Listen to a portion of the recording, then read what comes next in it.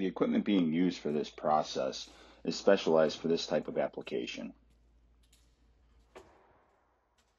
The first item being rolled off the truck is a 13 kilowatt 50 amp generator with 3 inch 50 foot long hose, 110 volt 3 motor dust collector, and an 840 pound 6 tool rotary. Because this is bigger than the other stuff, it's getting winched down the ramp out of the van to the floor. The process is meant to reduce any elevation inequalities that exist in the concrete slab. Reason being is because the coating system that's being applied is going to be a total of no more than 20 mils. This means any elevation inequality that the floor has will telegraph through if it exceeds that 20 mils. It also will contribute to premature wear because as the floor is trafficked, any high spots are going to catch the amount of traffic going across it, and that will, of course, wear the coating prematurely.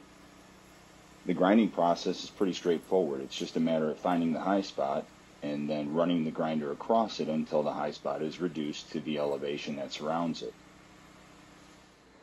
The objective is not necessarily to make the floor completely flat, which is going to take much longer and be a much more expensive process to do. And quite honestly, for a coating, it's unnecessary.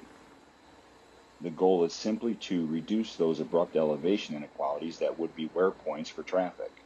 And also the floor will oh look better. Any light reflection, of course, will be straight and more orderly looking than if the floor was wavy. In this particular instance, the slab on the left is higher than the one on the right. A little dampening of the surface and the aggregate exposure gives an idea how much had to be removed to equalize the difference between the two slabs. This overall slab joint was approximately 40 feet long, so the majority of this process is just taking down the one side of the high slab.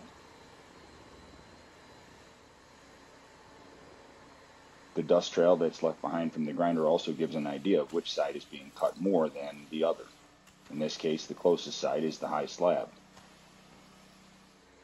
This is the same joint, just on the other side of the building. On the right hand side, that side of the slab is high and on the left is low.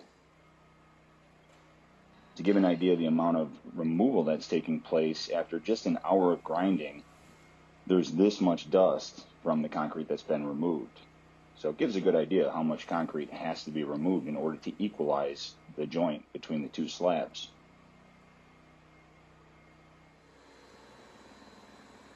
And that's the basic process. Finding the high spot, in this case it was obvious because it was practically a tripping hazard, running the grinder over it subsequent times until it is flat enough with the opposite side, and reducing that elevation inequality. Because again, as this floor is trafficked over that coating, any high spot is going to be a wear point. And anybody that knows coatings is that once the coating starts to chip and crack at any given spot, it's only going to get worse from there. So the main aim here is to flatten any of these elevation inequalities so that the coating will look better and of course wear better. And that's about it. In just under two hours, 60 linear feet of joint has been flattened. Though all the joint wasn't exactly the same as far as the elevation inequality, overall the joint is more flat, which is going to help that new coating that's going to be installed next.